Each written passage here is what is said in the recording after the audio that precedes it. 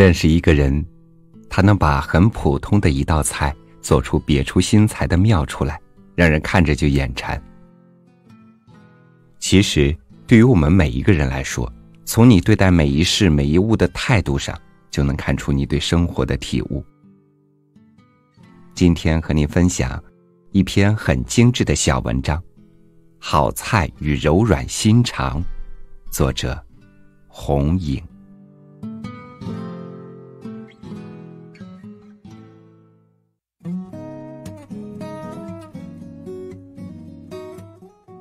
有眼疾的父亲做的一手好菜。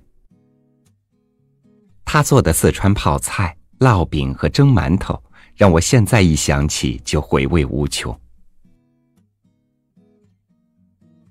家里姐夫个个都会做菜，没有差给姐姐们。印象中，二姐夫本来不会做，后来二姐得了支气管炎，他学着做，不到半年就超过了二姐。倒是两个哥哥被父亲惯了，只能赶得上姐夫们的脚趾。我从不认为做家务有男女之分，在我生长的环境里，谁做得好，就是谁做，谁做了，在家里就不会少了话语权。我长到十二三岁，父亲眼睛就看不到，姐姐们上山下乡，和灶台齐高的我就得做菜。大厨房里，各家巧妇没有好肉，却尽其所能把蔬菜做出各种花样来。夏天多是做凉拌，冬天喜欢做汤。父亲是浙江人，不吃辣；母亲是四川人，得狠心的辣。凡菜做的辣和不辣两种，因为菜得平票。连藤藤菜的根也稀罕，不会扔掉，用手撕成一条条，加点盐，本来不很好吃的根变嫩了，或炒或拌都好。开始随心所欲做菜是在二十世纪八十年代后期，流浪在路上，偶遇家境好的朋友，有好肉好料。我会细心而迅速的做上一桌美味来。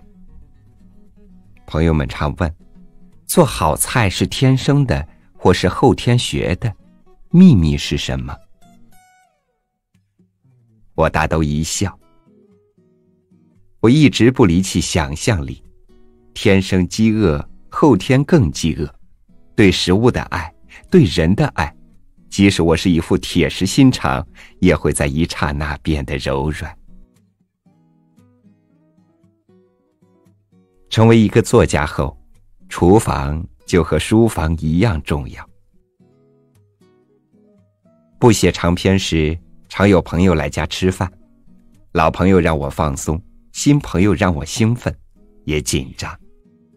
不知他或他是否有忌口。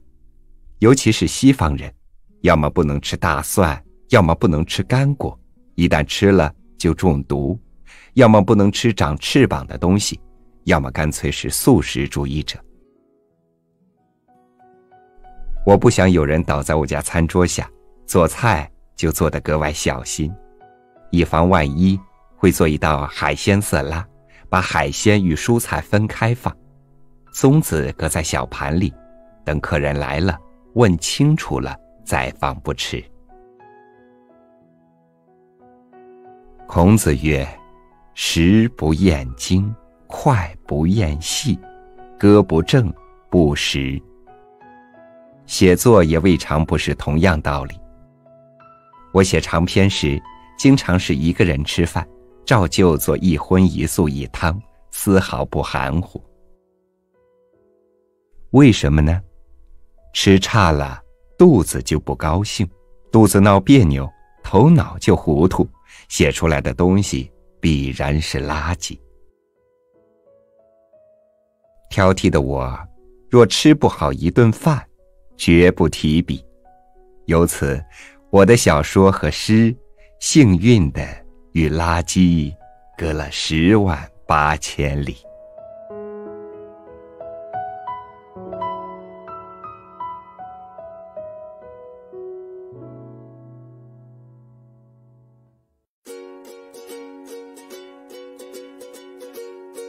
爱惜自己，怎么能只是说说而已呢？好好的吃一顿，饱饱的睡一觉，再多的心思也没有吃饭睡觉重要。越是简单的道理，越不容易学会，但它恰恰是你每天生活的幸福原理。感谢您收听今天我和您的分享，欢迎关注微信公众号“三六五读书”，欣赏更多精彩文章。我是朝雨，明天见。阳光最刺眼微笑了。